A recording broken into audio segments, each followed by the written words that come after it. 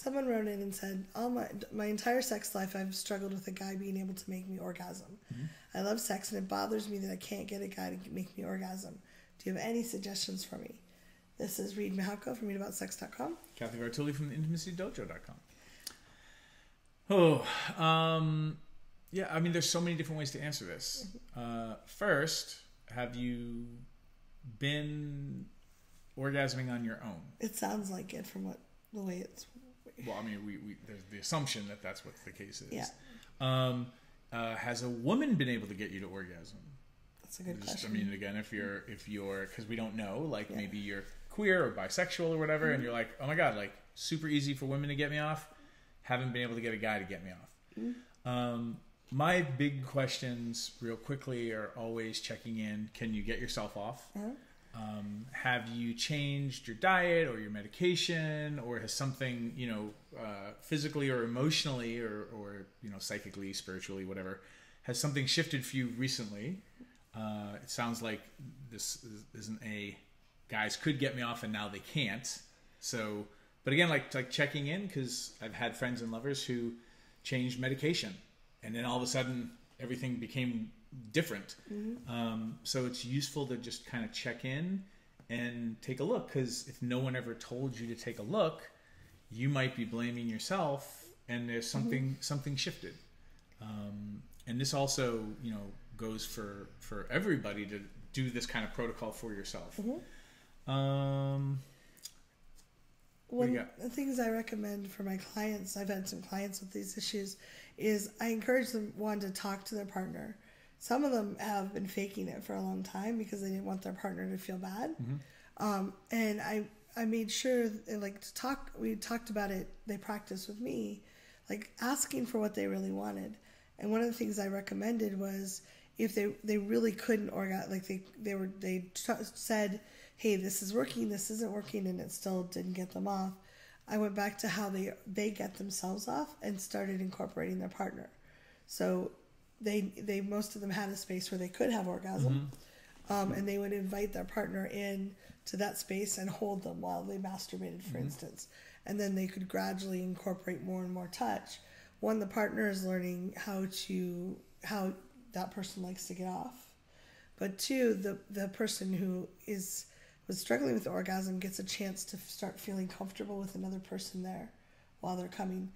And it could be that they have a belief or there's a thought that if I orgasm with them, I'll have too much control or I might lose control, or usually there's a belief behind it. Um, so if you can figure that out and dismantle it, great. But often, if they're just having their partner hold them while they masturbate or something like that, there is a, an uncovering or discovery of what's going on, and it start the body starts getting more comfortable orgasming with that person, and gradually they can you know kind of expand the sexual aspect of it. Other things um, you might want to consider getting a therapist, seeing a sex therapist, just to get you know somebody who can give you some feedback or some active listening rather than trying to get all your needs met from YouTube. the other thing to just consider um, for having you know friends and and worked with people who have particular trauma histories or life histories um, there may be other stuff going on where it's just going to be more difficult or challenging for you to orgasm with a partner. Uh, and that that is like that's a thing like that can happen. And how you empower yourself and look for resources um, might be uh, might require you to do work on yourself outside of your relationship because having your partner there holding you might not be the breakthrough um, and i just want to like offer that uh, so that you don't go into Yeah, like there's no shame if I did the evol- the advice that Cathy gave me and it's not working. I must really be broken. Yeah, no, there's lots of different ways to. And I mean, I have friends and lovers who are like, yeah, so we can totally play. Just so you know, I'm not gonna orgasm. Like, I won't come. I know that about myself. Don't make that mean anything because I, you know, they've said to me, they're like, I get some dudes are like fiercely adherent to that I must get off, and they're like, I'm not gonna get off.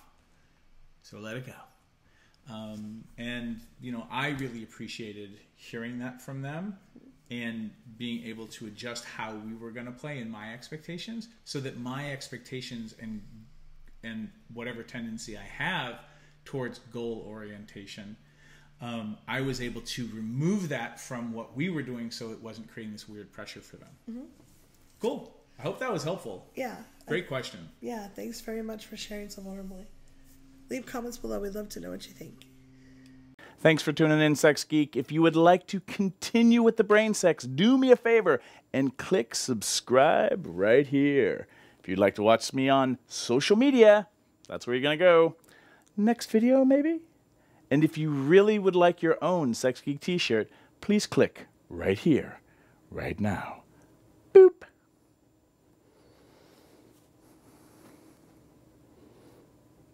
no, no, really, like